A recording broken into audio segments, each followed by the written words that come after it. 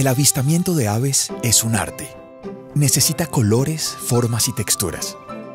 También necesita agua como las acuarelas o del sol para formar una escultura. En Colombia tenemos más de 1.900 especies identificadas, de las cuales existen más de 70 endémicas. Colombia es avistamiento de aves. Colombia es realismo mágico.